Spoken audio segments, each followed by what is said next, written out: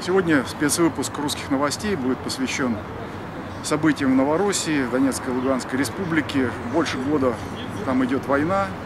И сегодня нам расскажет о ситуации, которая там сложилась, о причинах, последствиях. Луганский писатель Дмитрий Юткин, который э, непосредственно своими глазами многое видел и многих знает, и поэтому его знания, его представления о том, что там происходит – нам важны. Это не официоз, это не то, что идет в качестве пропаганды с одной или с другой стороны, а попытка вникнуть в ситуацию и понять, что же на самом деле происходит, в чем правда жизни, в чем правда. Не, ну, конечно, сказать том, в чем правда там жизни, сложновато. Вот уже год, как идет война, там гибнут люди, разрушается инфраструктура, предприятия, дома. При этом, ну вот если вспомнить, как все начиналось, точнее, как все преподавали это средства массовой информации, они преподавали это, как якобы начались эти события только с самого Майдана. Но мне кажется, не давалась здесь оценка именно духовного, духовная тому, что там произошло и почему это произошло. Первая причина, конечно, все-таки лежит в глубине духовной сфере. Почему? Потому что все эти годы русских, русских именно Украины, Малороссии точнее, заставляли быть украинцами. Переучивали. Вот я недавно смотрел вот, э, статью на русской линии, интересно, вот я пример приведу, где батюшка, один, один из московских батюшек, э, говорит о том, что нельзя переформатировать русского человека, русский народ, он весь заряжен на патриотизм, он весь полностью в связи со своими предками, навечно, навсегда. Об этом говорил и Путин, он подчеркивает в своей речи, что это говорил и Путин, президент России. Но вы мне извините, если исходя из этого, как могла получиться братоубийство, это даже не война, это братоубийственная бойня. Ну, как гражданская она? война, после это, дела гражданской по сути, войны, там правых, э, правых не, и ну, не разберешь. Дело в том, что и, и вот я бы уже даже отказался и от термина гражданской войны. Как особо таковые, требования там не выдвигаются уже ни одной из сторон. Они вроде говорят и те, и другие правильные вещи. Но вы помните, как она начиналась, если так взять. Донбасс поднялся за русский мир, э, за русскую идею, так скажем, быть вместе с Россией, восточный вектор развития, и не было требования там, кстати, оставаться в составе Украины. Все да, были все, против. Все да. рассчитывали на то, что как в Крыму будет, что Россия защитит, и тем более Путин сказал, мы не дадим в обиду, мы, если, там, да. если хоть один снаряд там, или что-то он в этом духе выразился. Но люди поверили, и поверили в тех лидеров, которые выдвинулись, которые, в общем, недвусмысленно демонстрировали свою готовность повторить крымский сценарий. Но ничего не вышло, оказывается, и не планировалось, видимо ну, если продолжу свою мысль, тут уже в, в самом изначально, ну, я имею в виду вот в рассказе этого батюшки, я имею в виду в репортаже или в, в статье, то небольшой заметка на виде небольшой заметки, тут уже изначально заложено, если так, прости меня, Господи, ну так, мягко скажем, неправда. Русского человека все это время переформатировали, начиная с 17 года. Да, и в Российской Нет, Федерации, и в, России, Союзе, и в Советском, этого, Союзе, да? в Советском Союзе. И основное, то, что происходило, это переформатирование сознания русского человека. Его сначала превратили в советского, на территории Малороссии, русских людей, которые по крови, по духу, это русские люди, это потомки людей, которые жили на Руси испокон веку, вместе, ну, и не братские народы, как нам утверждали это в советской историографии, это единый народ, единый народ. И 70 лет советской власти они позволили убедить малороссов в том, что они украинцы, то, что УССР, Украинская Советская Социалистическая Республика, это отдельная республика от РСФСР и БССР. В Беларуси, кстати, происходят те же самые процессы, на которые никто не обращает внимания, но которые в дальнейшем разят перерасти в то же самое, что произошло и в Маларуси. Поэтому говорить о э, невозможности переформатировать сознание русского человека, это уже, я же говорю, мягко скажем, неправда. Это нас должно, ну как, вот ура патриотические вот эти вот крики, как вспомню, Крым наш и все остальное. Было до того обидно это служит Луганске. И обида это была непонятна для большинства, так скажем, наших сограждан и земляков. В чем это выражено? Потому что, получается, Луганск, Донецк, Днепропетровск, Харьков, они не ваши. То есть не Россия. А Россия это и, и Украина, и Белоруссия, и Россия. Я вот так вот считаю, как оно все это выглядело для русских патриотов со стороны. То, что там вот сейчас, что это перетекло, вот, опять же, мы выступили против бендеровцев, которых нам показывали каждый день по телевидению. Яроша, Фарион, Мирошников, Тягнебок, ну, Тягнебоков и всех остальных, которые выкрикивали фашистские лозунги. Мы заряжались каждый день бодростью, глядя на их физиономии и ждали гости врага и готовились подниматься, встречать. Надо заметить, а русских людей не показывают. То есть, А да, с другой да, да. стороны, Другой- как будто не существовало. Да, и вот самое интересное, эти люди исчезли вообще полностью. С телеэфира Украины практически их не видно, не слышно. Ну, сделали свое дело, Да, использованы да, да, в пропагандистской да. кампании, в том числе и российской. И теперь они не нужны. Получается так, вот это было только как, не было ни единой силы, то кто бы сейчас мне рассказывал. Вот я считаю, вот это сейчас это популистика идет. То, что рассказывалось, якобы кто-то боролся против войны. Если кто и боролся, это были маленькие, мизерные организации, которых ну, никто за комариным их писком не слышал. Остальные все были заряжены на войну, как бы то против киевской хунты, как бы то против бандеровцев. Но самый главный итог, то, что мы видим сейчас, там это смерть, разрушение, убийство русских людей, где обманутые русские люди, которых называют, все годы приучали называться украинцами, участвуют в карательной операции на юго-востоке Украины и убивают своих же единокровных братьев. Вот что там происходит, это очень страшно. И не- непонятно, вот честно скажу, сама позиция России в этом вопросе иногда непонятна. Вот последний случай с Михаилом Тарасенко, э, Тарасенковым, которого выдали на границе ополченца и знали, э, что, что его ждет в Киевском, так скажем, он сразу попал в тюрьму, это наверняка о его судьбе больше нигде не говорится. Одно время покричали патриотические сайты и замолчали. Непонятно участие предпринимателей, бизнесменов, также продолжают, которые вести свои дела э, в Украине. Украинские бизнесмены, да, что там говорить, если у самого Порошенко фабрики благополучно работают и процветают в Липецке. Получают, он получает прибыль в России, хотя называет при этом Россию врагом. Эти мысли, они, ну, честно скажу, они как-то не оставляют покоя, Вот когда не, не может странная вот какая-то война, где все кричат о борьбе с киевской хунтой, но в то же время с ней сотрудничает. И опять же со стороны Украины, в которой здесь могут сюда приезжать, опять же, бизнесмены решать какие-то свои вопросы, их война это не касается. Она опять касается простого народа. Может быть, это как раз и проявляет сущность власти, которая в Российской Федерации, на Украине, во всей вот постсоветской системе образовалась. И может быть, это даже правда и о советской системе, что там подспудно созрело. Не, ну я, знаете, я по убеждениям монархист, как и вы, поэтому для меня это не является загадкой. Я знаю, что с 17 года наша Родина не является свободной. Ну, минимум, о чем мы говорим, э, можем говорить, что у нас все это время, с 17 года, существует под, э, так скажем, в виде полуколонии, это минимально. То, Ну, что... это мало, мало кто понимает, и мало кто Да, к понимает сожалению. вот тот, тот прогноз Ивана Ильина, который он сделал, что после, после коммунизма наступит именно то, что вот сейчас мы видим. Он сформулировал это еще вот в книге «Наши задачи», которая вышла в 1954 году. 20 века, и где, где он сказал, что там и иноверцы всех вер, и народцы всех городов будут здесь э, распоряжаться как своей территорией, и преодолеть это может только русская национальная диктатура. То есть э, заявление прав русского народа, так, так- какие русский народ понимал во всей своей истории, э, самым жестким образом. Вот. Но э, русскому народу подняться не дают, то есть осознать себя субъектом истории.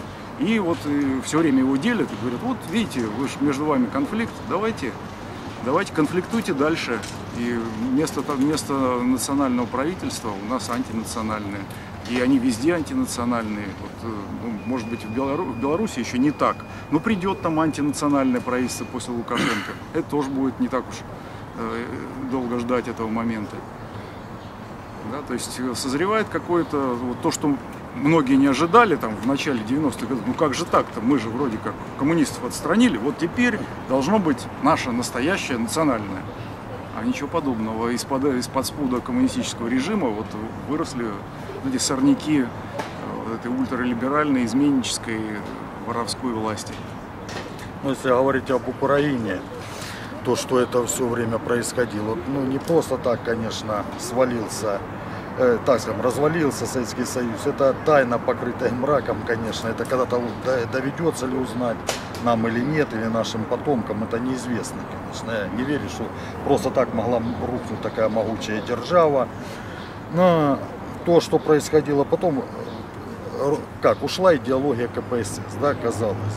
Ушла и так, казалось бы, без возврата. Но что то время произошло? Чуть покричали там о духе, том, который навязали и народческий, и наверческий, так скажем, практически сатанинский, богоборческий. В то время советская власть навязалась, главное, она боролась с духом русским. Или, как его назвал Ленин, великорусский шовинизм. Именно этот дух русский убирался все эти годы, навязывалась новая, созда, создавалась формация советских людей. И как вот уже народ задыхался от лжи и фальши той, которая царила в стране. То, что страна вот задыхалась, спут многотонный, многосот тонны вот этой лжи уже невозможно было. Ну, смотрите, в жить. Новороссии примерно то же самое. И сейчас а, тут, во всей большой России уже то же самое я созрело вот настроение. Хотел, да, я вот что хотел а сказать. прорвало как-то не в ту сторону, потому что вроде поначалу это там русский мир, э, с, там со Спасом люди флаги подняли, черно-желто-белые имперские подняли. Потом все как-то рассосался, казалось, что да нет, тут вообще-то советская власть, тут э, депутаты собираются и говорят, вот мы э, правоприемники э, России, которая называлась СССР, а вовсе не исторической России. Э, как-то снова не в ту сторону, опять не в ту степь нас э, бросило. Дирижеры твои, режиссеры всей этой игры, точнее режиссеры, То есть они хотят одни либо, и те же. либо воровской либерализм, либо воровской социализм. Им, им давайте... все равно, как да. это и будет окрашено, как это будет называться. Главное, чтобы работали антирусские программы. И они работают, тут, как сказать, вот если вспомнить то, как начиналась борьба против киевской хунты, она начиналась под лозунгами русского мира. Но то, что там сейчас происходит, и когда вот думаешь, за что погибли тысячи ребят, ну лучших ребят, которые верили торжеству идей, что будет жизнь наша меняться. Не, дело было и разговор не только о приемлемости идей, которые нес, так скажем, несла киевская хунта, фашистская хунта, как ее у нас называли и называют, хотя это ну, далеко этим не является, вы сами прекрасно понимаете. Это другие идеи, они бесчеловечны, они, и, возможно, даже никакой идеологической окраски не несут. То, что и происходило, в принципе, у нас до войны в Украине, Разве до этого не уничтожался наш народ? Разве до этого не уничтожались остатки русской культуры у нас? Там, разве не, не, не разве вот, ну тут один даже вот я пример могу привести. Вчера в интернете видел комиксы на Украине вышли, э, посвященные героям АТУ, э, точнее даже э, киборгам, которые воевали они там написано супергерои даже называются, Укроп, там еще кто-то, выпустили комиксы, смешные, веселые для маленьких детей. И вот когда с этими девушками, которые создали этот комикс, э, автор и художница, они говорили, да, нужно типа с малых лет воспитывать патриотизм, любовь к родине и все остальное. Но это ж уже даже в этом сама извращенная суть того, что героев превращают, вот, естественно, должны дети верить в то, что могут быть герои, которые, обстреливая Донецк, убивали женщин, детей, стариков. И винить этих девушек, которые создали эти комнаты за деньги, ну, бесполезно. Это мы, наше поколение, стар, более старшие люди. Мы спокойно наблюдали, как вас растили, выращивали этих ублюдков. Вообще, я имею в виду тех, кто сжигал в Одессе людей живьем, тех, кто орал на Майдане, кто на скаче, то и москаль, нападал при этом на милицию, калечил, увечил Э, тех, кто творил вот, эти, вот это все на Украине, тех, кто участвовал в основном в погромах, убийствах людей, поджогах, издевательствах над людьми, унижения людей. Это были те выросшие поколения Иванов, и Марии родства не помнишь. Для которых... Кстати, в Российской Федерации ведь э, то же самое, мы просто как-то позабываем об этом, но ведь один в один, ведь э, звание Героя России у нас дается просто преступникам, убийцам и врагам страны, у которых руки, руки по локоть в крови. Это больше чего всего распространено для того, чтобы подкупить каких-то там чеченских полевых командиров, чтобы они лояльно относились к Кремлю, не к России, а именно к Кремлю, лично там к любимому и родному для них нынешнему президенту. Ну, это же дискредитация полнейшая. Там боевые награды, орден Героя России там раздают э, там, ну, вообще кощунственно там всяким я не знаю, как назвать там принадлежащим к разным меньшинствам людям, выдают там, не знаю, например, орден э, святого Александра Невского или явным врагам России, там, орден э, Андрея Первозванного вешают наши там, высший, высший орден. Российской Федерации. Это же то же самое, тоже воспитывают, э, воспитывают подрастающее поколение, что вот они, вот это, это герои, вот это герои, которые убивали, убивали людей здесь. И там то же самое. Получается, что технологии-то все одни и те же. Земля то одна и один мы народ. Хотя вот многие удивляются, когда говори, ну, говорится о том, что Украина это тоже часть России. Ну, просто за эти сто лет людям успели промыть мозги. Мягко, да. 70 лет при советской власти, и более в жесткой форме, вот 24 года это продолжается. Это происходит вот поныне. Ну, все-таки какой-то был прорыв в Новороссии, когда показалось, что вроде бы русские поднимаются, что это именно русский проект, Знаете. не, не выдумка Кремля и там не, не какая-то политтехнология, что вроде бы русские подняли. Даже если кто-то там спровоцировал это э, в своих целях, ну вроде бы поначалу казалось, и довольно ну, несколько месяцев, полгода, может быть, больше, что русские там перебьют, передавят вот этот э, сценарий гибельный и возьмут как-то на себя и дальнейшее государственное строительство и вопрос там, соединения с Россией. Знаете, чем вы сами прекрасно знаете, точнее, чем отличается русское движение от движения того же тех же сионистов, от движения, да даже взять так э, ну, дохленькое на самом деле движение на УСО, УПА, украинских националистов, тем, что у нас нет особо каких-то программ, которым мы руководим, ну, все, так скажем, общественные организации, которые э, русско-патриотического толка держали за свою, так скажем, э, стра ну, стратегию идеологическую, выдерживали ее постоянно, объединялись бы под ее знаменами, куда-то шли долгосрочные планы какие-то, в отличие от тех же, так скажем, сионистов, которые этот конфликт, конфликт наверняка просчитали не в, одно, не в одном десятке институтов, распределили этапы, как это все будет разыгрываться, переигрываться. Э, в основном русские в этом участвовали, русское народонаселение участвовало в этом как ну, в роли статистов. И масса, народной массы, которая велась, в основном, как не страшно, а велась, как стадо баранов, за козлами. Всевозможными, так скажем, как раньше водили отару э, по разным направлениям. Э, ну, я не знаю, как вот э, передать масштаб той трагедии, которая реально там э, началась. Это только начало, я скажу. И тот тот русский народ, вообще сам русский, русский дух, он сейчас, так скажем, стоит перед вопросом выживания. То, что вот происходит, даже вот, ну, свидетельство вам скажу, вот радостное восприятие всем населения э, э, РФ, празднование День независимости России, день э, отмечания государственной декларации, там провозглашения, все остальное. Это страшно, людям не объяснить, что празднуется в этот день, как у нас День незалежности праздновали, это развал великого государства, разрыв по-живому нашего народа, который сейчас на данный момент является самым большим разделенным народом мира. Это страшно, убивается сам русский дух, я не оговорился. Вот все эти годы убивается русский дух наш. Особенно активно последние сто лет. Он и до этого с ним боролись, но особые успехи, конечно, 23. Потому что здесь, даже в России, многие воспринимают людей с Украины, русских людей, как представителей иностранного государства. Это ну, очень... Почему же вот э, русские, которые всегда славятся тем, что в особенно острых ситуациях, в ситуациях войны как-то объединяются, находят в себе вот этот героический потенциал предков. Почему в Новороссии это не произошло? То есть там произошло на самом деле это, на фронтах-то проявилось это, э, вот эта русская неуступчивость, э, русский героизм, э, русская воля проявилась, но почему-то в политику это не перешло.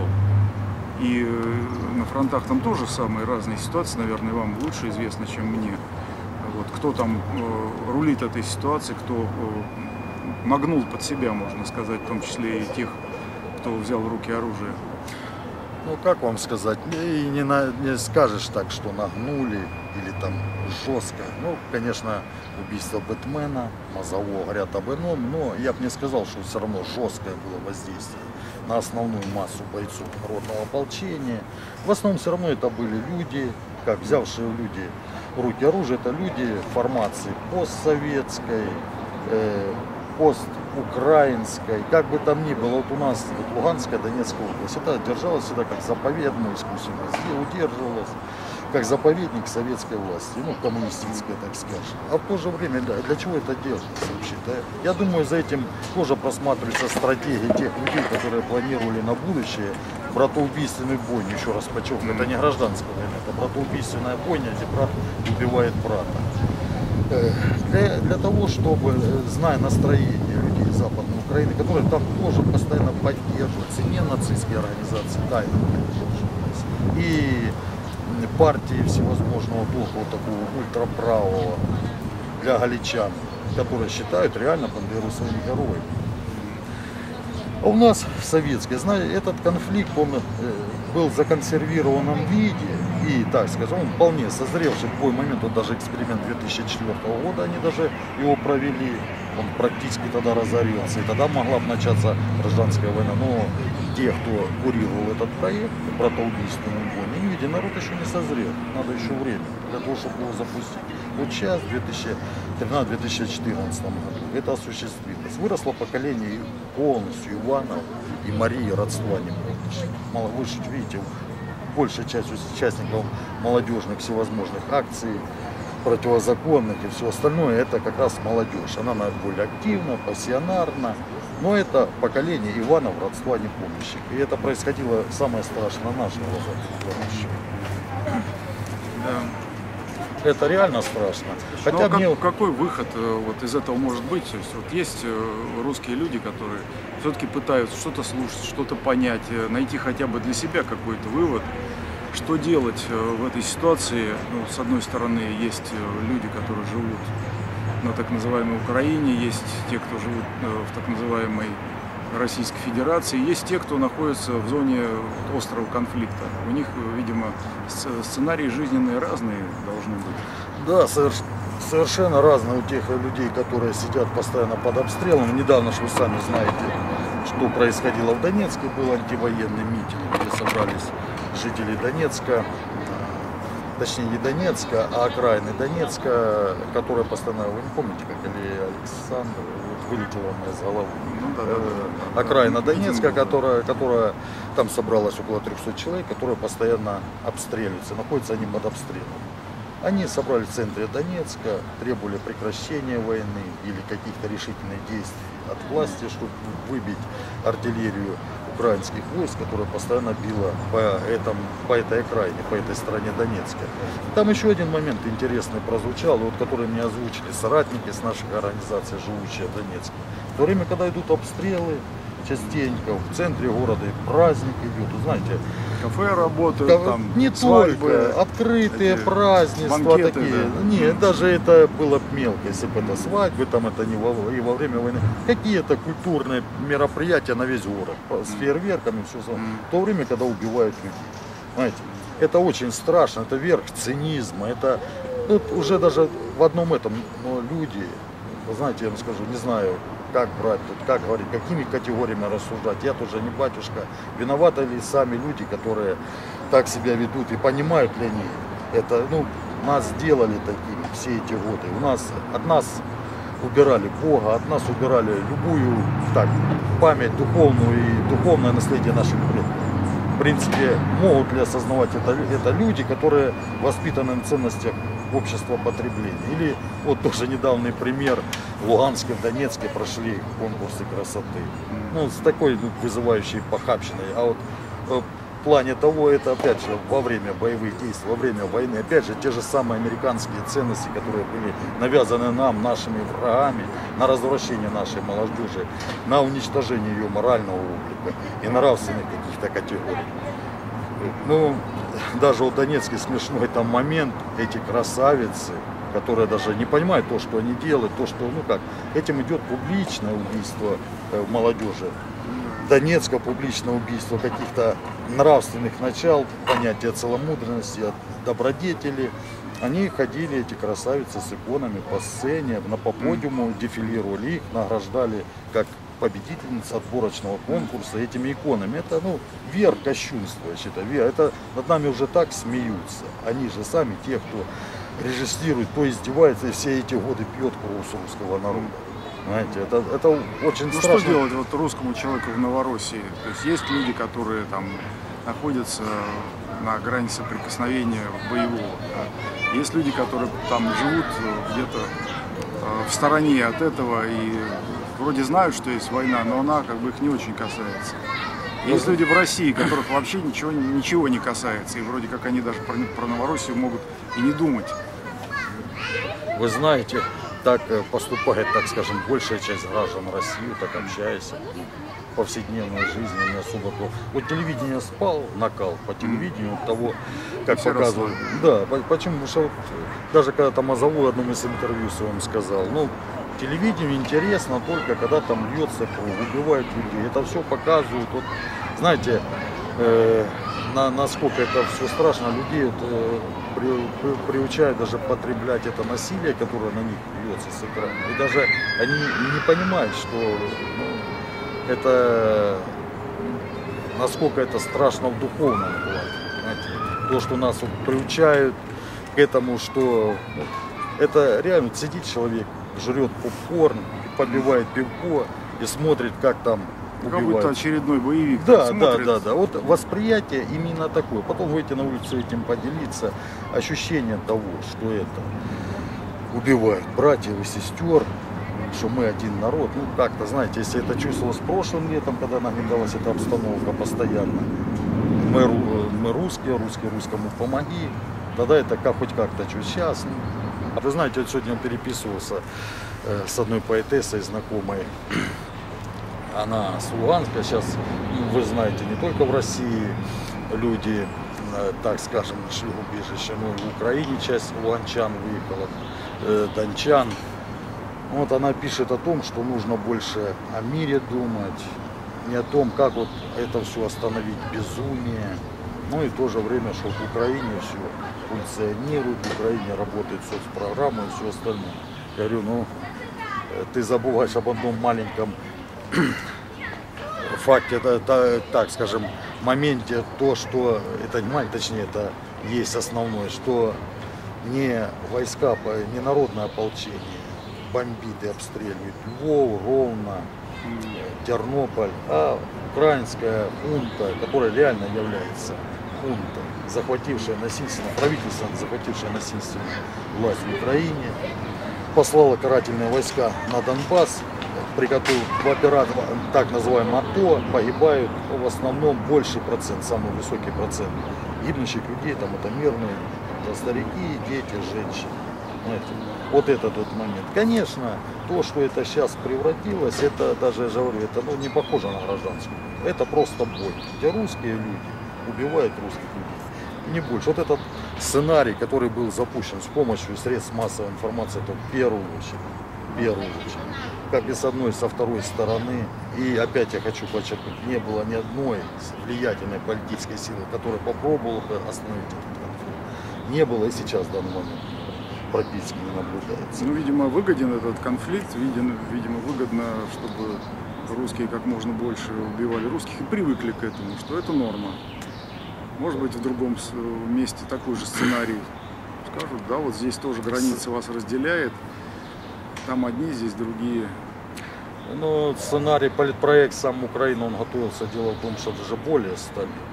Если мы помним. да. Это упорная работа. Конечно, тут и работает и над другими проектами, э, позволившими разделить русский народ. Я имею в виду, я вот слышал, тут есть и поморский народ, и алтайский, и сибирский, и казачий народ.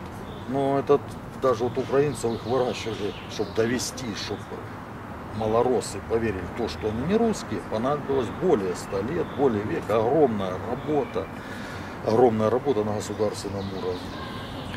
Вопрос все-таки, во-первых, э, что, во что это все выльется, да, то есть какой-то прогноз, ну, вот конкретно в этом случае, который мы рассматриваем, и что делать русским людям, которые все-таки хотят выжить э, как, как народ, не просто обеспечить там, своей семье Вы знаете, тут, тут иного вывода, кроме того, что русский народ все-таки должен стать, наконец-то, превратиться из народонаселения, превратиться в народ и учиться отстаивать свои права какие-то, хоть какие-то, хотя бы начать с элементарных.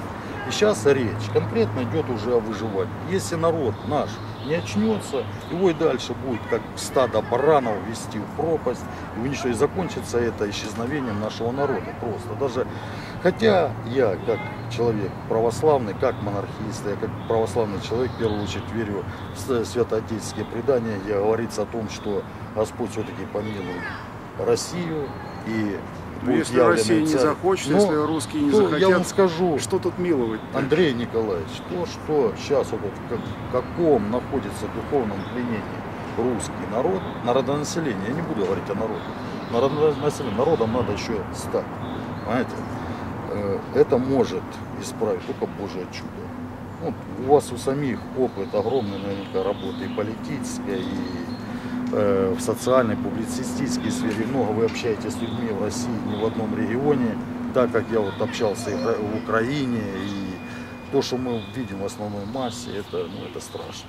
Реально это страшно, это, это, так скажем, людская масса, которая подчиняется командам по зомбоящих, верит зомбоящим, которая находится у врагов нашего народа в руках, которые им владеют, которые... Все-таки для людей нужен какой-то, какой-то, если не прогноз э, позитивный, который может состояться при их участии, то хотя бы какая-то установка на ближайшую жизнь.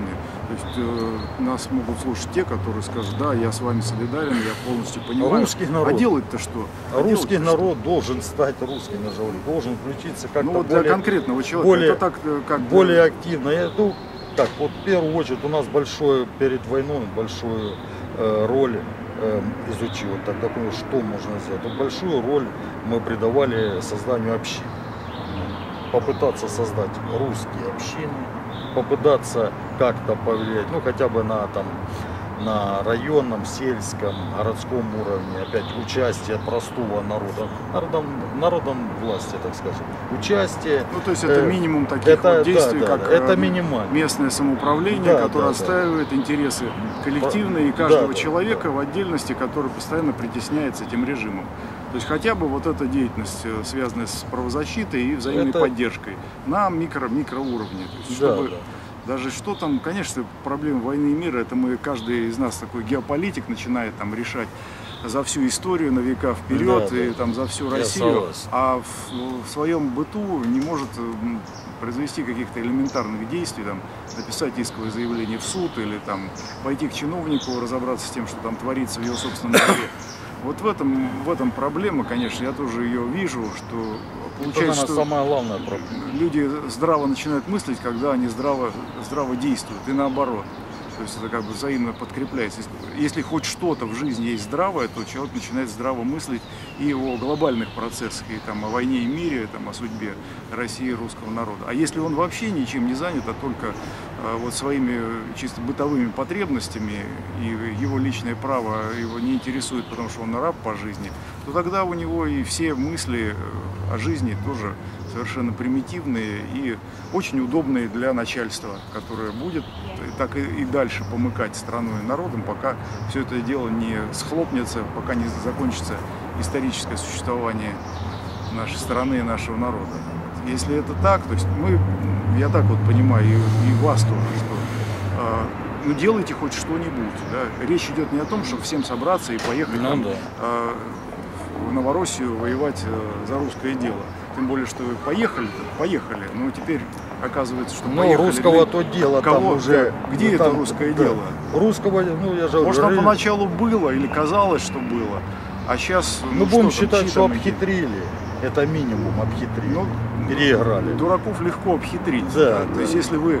Не, вот не было войны, и эти же люди, они ничем не занимались. э, Ну, как бы Духа есть- русского там не было. Реально, вот среди... Самое страшное, почему? Кричать можно любые лозунги. Любые лозунги можно вкладывать говорящие головы, которые торчат в телеэкране. Но если нет сути и нет насыщения русским духом, я имею в виду вот на, т- на тот момент не было. его. Вот сейчас он пробудился с войной, с кровью, с страданиями если не во всех. Ну, кое-ком, кое-кто проснулся и вдруг вспомнил под обстрелом, когда оказался, что он русский, предки русские. И что И что убивает, убивает убивает его за за то, за что он это, русский. За то, Да, что да, он да. русский. И война, потому что надо убивать русских. Пусть э, их, я задача скажу, что их очень много там этих людей пробудивших. Вот даже вот я просматривал недавно э, интервью Ходаковского, он там буквально ли сегодняшнее, или вчерашнее, вот видел Ходаковский говорил о том, что вот большую часть времени приходится тратить на борьбу не вот 70%, не с укросми, там, не с какой-то лживой информацией, вот типа с патриотами русской направленности. Вот такой момент. То есть он момент. борется с русскими. Ну, по- ну, не, не так, скажем, это якобы лжепатриотизм, но в таком вот смысле. Что они делают там? Дело четко, а дело делалось все эти годы на Донбассе такое же, как делалось во всей Украине. Шла, шло уничтожение русского духа, русской культуры, дерусификация региона при полной поддержке этого населения. Если что-то обычали, никто в это особо не высказывался. Был определенный момент, когда выступали люди против этого. Ну, быстро эти протестные настроения подавились. Опять же, культурно, грамотно, все. Все, ну, скажем, радостно встречали 23 года незалежности, выходили, салютовали, пили, радовались и кушали шашлык, понимаете, радовались незалежности. И особо как-то, а ты при этом душевно не страдал. Что это празднуется победа над его страной, победа над историей русского народа, победа над традициями, победа над нашим будущим и все остальное. Что так могли только этому радоваться только наши враги. Никак не было. Мы должны закругляться, надо какой-то какой-то финальный, э, финальный аккорд какой-то сделать. Немножко в вашу сторону тут ушли. Ну, вот, вот так вот говорить, в принципе, вот, я не знаю, на камеру, но на такие вещи, что я вообще что делать там, что думать. Тут есть некоторые вещи, которые сказать невозможно. Ну понятно, ну надо в общем, в общем плане какую-то дать установку, я думаю.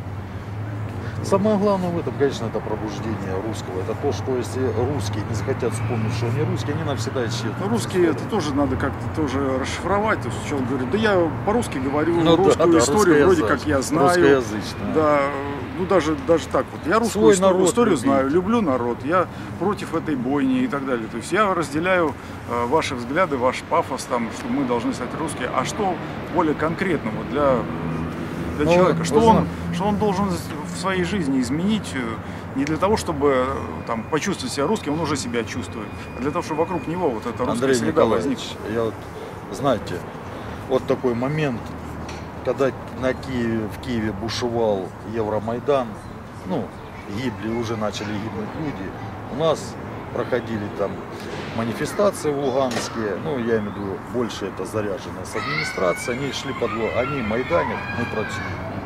И вот те годы, это просто один из показателей того, что центр кипит, запад эшелонами едут в Украину, а мы в это время працюем, мы считали, что это ну, хорошо. Это, ну, я имею в виду восток Украины. И вот э, принцип жить подальше от политики, подальше от того, что вокруг тебя происходит, моя принцип жизни, моя хата с краю, вот за это мы сейчас наказываемся. Не, не за что-то другое, пусть не лгут, не рассказывают там про бендеровцев, злобных, про американцев. Хотя у нас, я же говорю, внутренняя жизнь духовная, если ее можно так назвать, она проамериканская так и осталась. И в ЛНР, и в ДНР, понимаете? Вот казалось бы, война идет.